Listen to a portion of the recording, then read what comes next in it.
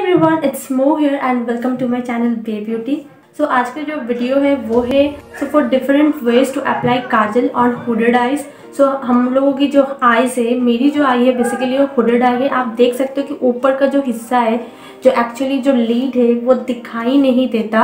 And नीचे का बहुत ज़्यादा मतलब बहुत ही ज़्यादा विजिबल है. तो हम जब हुडेड आईज वाले क्या होते हैं, जब भी हम आई अप्लाई करते हैं, हाफ़ आई दिखता नहीं है, ढक जाता है. सो so, हम लोगों को ज़्यादातर मतलब फोकस करना है आ, काजल पे।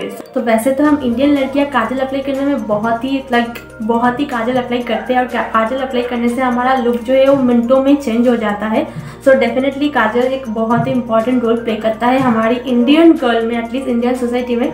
And specially in Bengal so kajal मुझे बहुत लगाना पसंद है। सो so, आज मैं आपसे फोर डिफरेंट वे शेयर करूँगी काजल लगाने के लिए फॉर हुडेड आई आप अगर आपका कोई भी आई है तो अब इस वेस को यूज़ कर सकते हैं बट स्पेशली मैं ज़ोर इसलिए दे रही हूँ हुडेड आइज़ के लिए क्योंकि आ, मेरा हुडेड आइज़ है एंड मैं इस चार तरीके से काजल लगाकर देख चुकी हूँ कि हाँ मैं अच्छी लगती हूँ। एंड या तो इसलिए मैं आज एक चार्ट तरीका शेयर करूँगी for hooded eyes so let's get started into the video and video start होने से पहले मेरे चैनल पे चल रहा है गिव अवे 500 सब्सक्राइबर मैंने पूरा किया है जल्दी। आ, मतलब मैंने पूरा किया है। उस खुशी में मैंने एक गिव अवे रखा है। गिव अवे का कुछ रूल्स एंड रेगुलेशंस है जो मेरा इससे पहले का एक वीडियो अपलोड हुआ है। उसमें सब यू नो मेंशन है।